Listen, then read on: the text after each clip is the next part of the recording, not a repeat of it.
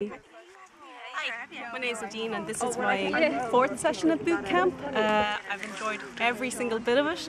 It's a great way to get out, as I'm sure all the other mums after saying, um, especially on a day like this. Um, what I love about boot camp is that you can attend your baby anytime. You can just step in and out of the exercises, which is great. And some of the instructors as well are great with the babies when we're going to do a long lap around this.